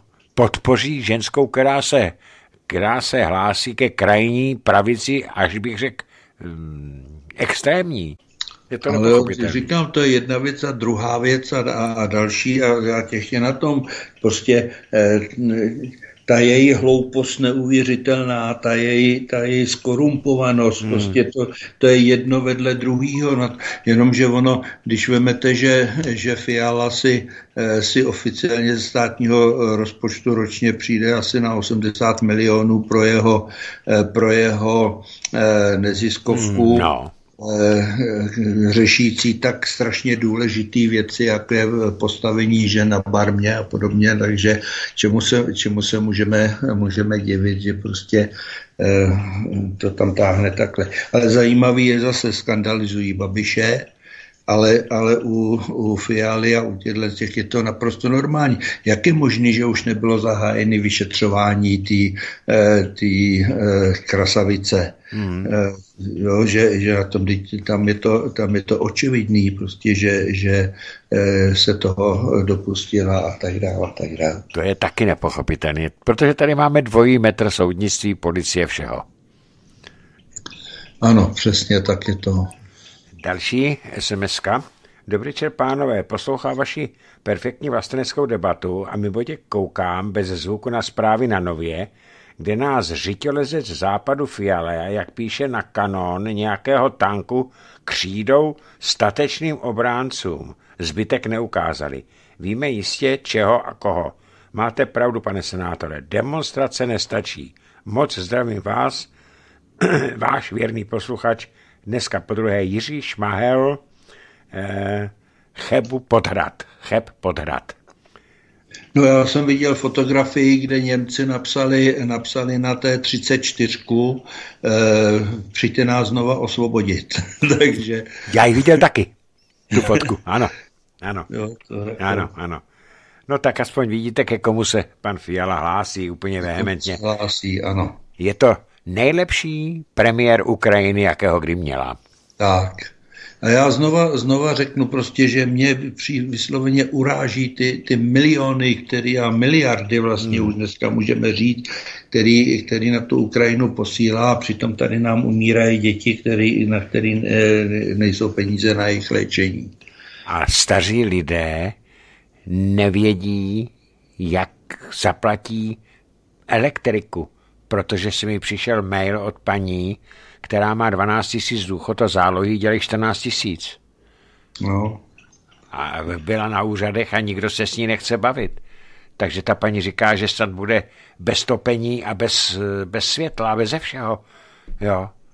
Dokonce mi tam chudák napsal, je to paní, která je stará jako já, stejný ročník, a tam mi napsala, mne nezbývá nic jiného, než abych umřela. A to je tragédie v 21. ve čtvrtině 21. století, pane senátore. Ale jistě to s tím plně souhlasím. Mně se stalo něco obdobného, když jsem eh, v, u lékaře v čekárně mě oslovila paní, říká, že vy jste snad pan senátor Doubrava, říkám, ano, to jsem pán, ne, ale senátor ano, a tak se tak usmála a, a teď jsem čekal, co jako vy, říkal, ne, nebojte, já od vás, já vám jenom chci ukázat, udělal takový věž tehdy eh, z těch, eh, z recepisů a říkal, víte, já přemýšlím, přemýšlím nad tím, jestli mám umřít, protože e, budu mít jídlo, ale nebudu mít léky, anebo umřít, protože budu mít léky, ale nebudu mít na jídlo, protože já na obojí nemám. Hmm, jo. Ano, ano, a když jsem říkal, dobře, tak na tom zahal jsem peněženku.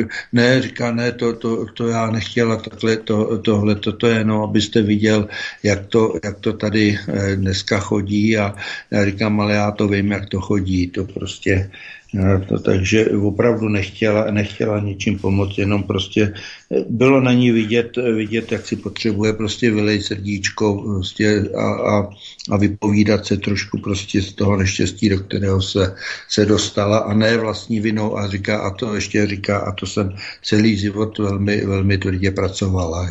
To je ta tragédie, že tady jsou lidi, kteří pro naši zemi nehnuli prstem a dostávají tolik peněz, že si je vozej do, na Ukrajinu zpátky. Eh, už to říkali i vládní, dokonce to přiznali pan Rakušán s tou bazedovkou, co chodí, a že o tom mají také informace, jak říká premiér signály, že sem dělají eh, takové ty černé zájezdovky, no, ještě. zájezdy pro, pro Ukrajince pro dávky a zase je odvezou zpátky, jo? Oh. To je hrozné, co se tady děje. Tak, další telefon. Dobrý večer. Dobrý večer. Eh, pane Kapale, já bych chtěl pozdravit vašeho hosta a chtěl, chtěl, bych, se, chtěl bych se zeptat, jestli nemá příbuzný v Děčíně. Já jsem totiž, já jsem tam eh, znal Honzu Doubravu, eh, muzikanta, a jestli, jestli, jestli, jestli nemá ty, tyhle ty vazby. Dobře, děkujeme. ne, mrzí, mrzí mě, že, že nemám. Eh, my jsme, my jsme nebo mý rodiče eh, do, do těchto těch eh, končin pod, a... na úpatí Krušných hor přišli ze Sedlčanska z, vlastně v podstatě z jihu.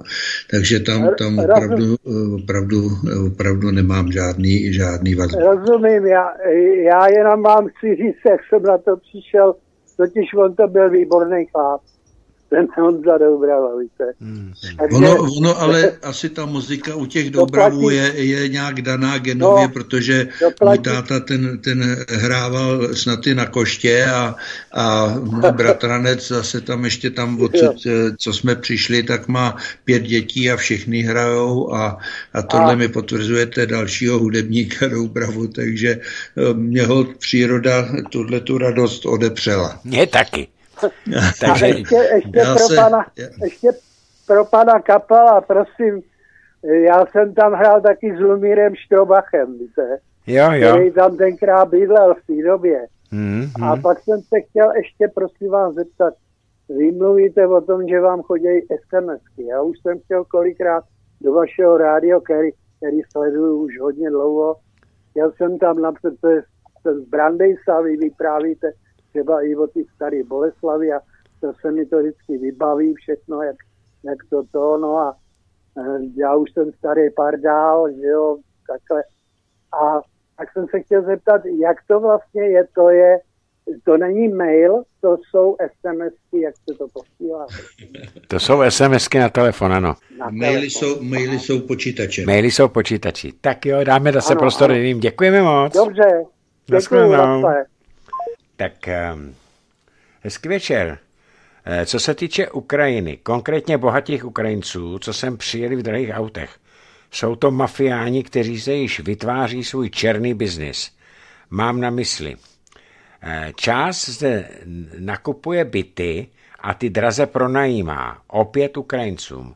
Otevřeli si agentury práce a z toho mají prospěch, další peníze – byty pronajímá opět, pronajímí opět Ukrajincům a ty, eh, co vydělají, musí odevzdat. Nehledě na to, že inkasují peníze za povolení zde být a to jen prý je jen začátek.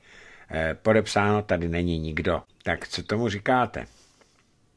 No, to je, to je asi pravda, kterou, kterou, všichni, kterou všichni známe. Oni to nejsou jenom byty, které skupují, oni dokonce skupují už i firmy. Ano. A, a zajímalo by mě, kde na to berou ty šílené peníze, když e, jsou rozbitý válkou, že jo, když, když utíkají z válečných oblastí a, a, a podobně na to.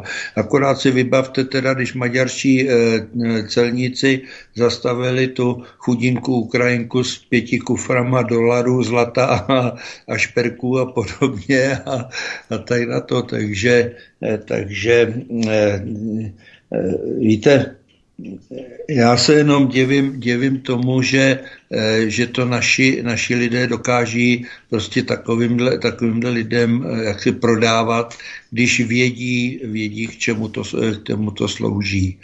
A že prostě nějak se zapomíná zapomíná na to, že prostě eh, jsme Češi, ten národ, ten národ nás by si měl prostě to, to svoje bohatství, eh, nebo spíš zbytek toho bohatství, které, který nám ještě zbývá, prostě chránit jak, jak oko v hlavě, protože nakonec se může stát, že sice budeme Čechy, ale, ale tu, tu, tu českou zemi, že si zaprodáme prostě někomu, někomu, kdo nás tady odsud nakonec bude chtít vyhánět vyhánět a podobně. Tak eh, jdeme dál, hezky řečeno, děkuju. Eh, píše Josef Holub z Domažlic. Zdravím vás. Při včerejší debatě hned po Baštovi Fischer řekl, že v případě, že Bašta odvolá vládu, tak okamžitě hned druhý den bude zasedat Senát. Pak jsem dál nic nerozuměl. Asi v tom smyslu, že Senát může rozhodnutí o odvolání vlády zrušit? A za prvé a za druhé, proč se nemohu dovolat na vaše číslo? Eh, no, asi, asi máte smůlu, protože když se dostane sem vaše SMS, no tak by sem sem dostalo i volání. Tak asi zrovna někdo volá, a nebo, nebo zrovna eh, ten telefon vzít nemohu. Takže, pane senátore, jak to vlastně je? Může senát rozhodnutí, ústavní rozhodnutí prezidenta nějakým způsobem korigovat vůbec? No, eh, zkušenost, zkušenost ze snahy snahy odrovnat eh, Zemana říká, že, že jakési možnosti jsou, ale určitě by to nebyla možnost eh, jaksi druhého dne po odvolání, odvolání vlády a podobně, a že ta procedura, ta procedura by byla v podstatě složitější. Tak, dobrý že pánové, no, chcete jinak, něco ještě? Jinak pan kolega Fischer, to, to je taky člověk, na kterého jaksi Eh, se musí člověk dívat, dívat a, a eh, jen v případě, že má hodně dobrý žaludek. Mm, je to pravda, ano, ano. Máte naprostou pravdu, já jsem se na něj taky nemohl dívat. Eh, dobrý večer, pánové Josef Středula je na seznamu Aspen Institutu z roku 2018. Zdraví Karel z Prahy. Nejenom Středula, jsou tam všichni. Úplně všichni, včetně Babiše. Tady... Ale to mě snad Jardy Bašty, ne? A, no samozřejmě, Jarda Bašta ne. Jarda Bašta tam není, to je jasné. To je, teď jsem chtěl říct právě, jsou tam všichni členové Aspenu, všichni kandidáti i ze středulou, kromě jediného Bašty. Proto taky Jarda Baštu tehdy prohlásil, že je to jeden proti, eh, proti osmi. Měl na mysli právě Aspeňáky. Ano, bohužel. Ano. Tak další telefonát. Stižte si rádio, prosím, a můžeme hovořit. Ale to mě to Bašty, ne? No tak tento se položil. jsme toho moc nenapovídali. Nenapovídali, tak já vemu sms a bude poslední, protože už máme hm, konec našeho pořadu. Eh, dobrý večer, pánové. Březina přece říkal, že ve volbách je zapletená americká agentura. Nelíbí se mi ani ty šaškárny kandidátů před tabulí, ani ty televizní estrády alá USA. Mládež je zmanipulovaná, nedá se přesvědčit. A taky jsem dnes slyšela překlad pana Erkiše, že Putin nabízí příměří vzor Korea. Ovšem ten zelený kašpar nechce, jistě zákaz USA. My se toho hnusu fialového snad nezbavíme. Moc vás zdravím a přeji vše dobré. Blanka, té z Brna. Tak ta americká no. agentura se jmenuje Hewitt Packard. Jo, paní Blanko, my, my přejeme taky, taky hezký, eh, hezký večer. Eh, ta, ta otázka samozřejmě, samozřejmě má, má hodně, hodně do sebe, ale teď jsem, teď jsem spolknul, co jsem to chtěl říct. O tom, že tady se, že tam mládež je zmanipulovaná. Tam, že... Ano, ano. Víte, to je, to je eh, chyba, chyba nás, eh, nás rodičů. Já eh, si myslím, že celá řada rodičů se nevěnuje, nevěnuje dětem tak, jak by se jim věnovat měla. Celá řada si, a vím ze svého okolí, že celá řada rodičů si pořídí dítě jenom protože, že se to nosí, že to, a ten pak si myslí, že, že tím, že mu Eh, nadspe eh, do kapec peníze, aby si dělali, co chtěli, takže. Eh, takže tím jako to dítě vychovává, nevychovávají. Právě proto se dostáváme do, do těchto do těchto situací, kdy 15-letá dívenka napíše teda to, že by klidně Greenvillu obětovala i, i rodiče, protože pak by zůstali jenom ty mladí, kteří by věděli už, jak, jak pokračovat fungovat bez nich. A to, eh, chápete, si, chápete tu zrůdnost ano, prostě šílená, ano, ano. prohlášení, když tohle to dokáže říct 15-letá holka o svých rodičích. Strašný, jo. strašný. A, a tak, takže, takže ta, ta vina je, je samozřejmě na nás. A v podstatě, v podstatě se vrátím, vrátím zase k tomu konci toho, toho Říma a já se obávám, obávám toho, že, že vlastně k tomu, k tomu konci té Evropy, té západní civilizace, spijeme mílovými kroky. Ano, bohužel. A ještě tady píše Branka, eh, že eh, Putin nabízel jednání o, o příměří vzor Korea, pro které jsme mluvili právě. Ovšem Zelenský to naprosto odmítl.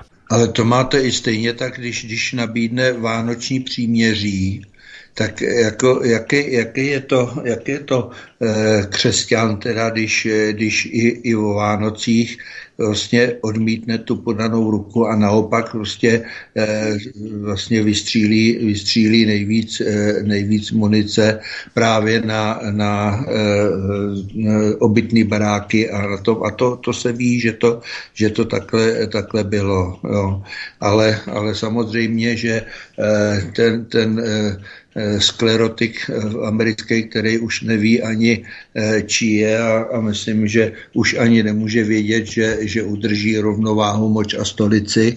A tak, tak řekne, že to je projev slabosti Putina. Ne, já si myslím, že to byl, že to byl projev právě vel, velkého lidství a, a, a prostě toho, toho sna, aspoň ty vánoční svátky, říká se svátky míru a, a pohody, prostě tak, aby, aby se aspoň tato činnost eh, eh, jak si eh, zastavila a, a Eh, ty svátky se daly prožít opravdu v klidu a míru.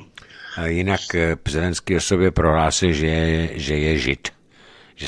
No, no tak, tak o to je to horší, že jo? protože už asi zapomněl na to, kolik, kolik teda těch jeho souvěrců eh, právě fašisti, fašisti z, zlikvidovali no.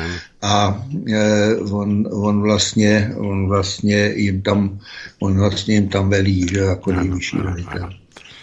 Tak, pane Doubravo, já jsem nesmírně rád, že jsme se dohodli na tom dnešním pořadu. Jsem nesmírně rád, že jsem si s vámi mohl popovídat.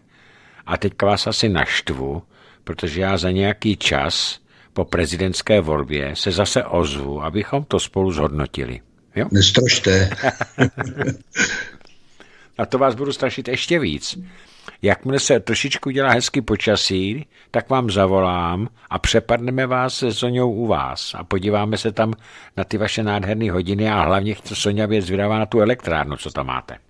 Ale tak to nejsou žádný zácný hodiny, to abych nerad, aby si někdo myslel, že tady mám doví jakou zácnou na tom. Ne, to já, mám, já mám prostě celou řadu hodin, ale to jsou hodiny, které mi připomínají prostě nějakou událost někoho. Hmm. Mám tady hodiny od děduly, kterého jsem zachránil z hořícího baráku a, hmm. a mám tady hodiny, hodiny kterou, který mi odkázala prostě jedna, jedna bábrdlínka tady od nás a, a mám tady hodiny prostě, eh, který a tak dál a tak dál. Prostě nejsou to žádný zácný kousky, ale jsou to, jsou to vždycky hodiny, které mi připomínají eh, připomínají eh, tu či onu, tu či onu událost a, a také hodiny, které se mi podařilo, podařilo opravit, když jsem začínal opravovat hodiny po svých rodičích a tak dále a tak dále. To je, to je jedna z těch mých činností, který, Eh, kterou celou řada, celou řada lidí využívá, když mi, když mi neustále, neustále nosí hodiny, jestli bych jim je opravil.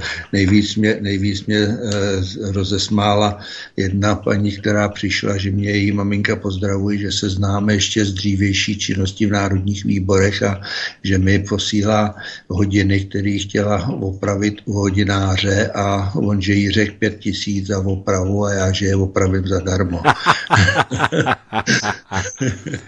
to je dano hezky. Dlužno říct, že jsem mě upravil zadarmo, ale mm, jasně, to by bylo jasné. Zásadně, zásadně si za to nic nevemu, ale protože mám, mám i radost toho, že mají mě lidi důvěru prostě na tom, že to, že to můžu dělat. A, Víte, ale to už je asi přes čáru o ničím jiným. Eh, víte, pane Dobravo, já si myslím, že předměty, v vašem případě hodiny, které ke kterým vás váží životní vzpomínky, jsou mnohem vzácnější, než kdyby byly bez těchto vzpomínek, ale starobilé. Víte, ještě, ještě vám řeknu jednu, jednu věc, která, na kterou mi nejde z hlavy pořád na tom. Já jsem při poslední návštěvě Moskvy od, od svých přátel dostal hodiny. Hmm. Přivezl jsem si je a když jsem o tom uh, mluvil uh, s druhými uh, přáteli po telefonu a řekl jsem jim, že jsem si přivez, tak, tak říkali, Jardo, to je špatně, protože hodiny se darovat nemají, ty přinesou, to přinese neštěstí, to, to nepřinese něco dobrého.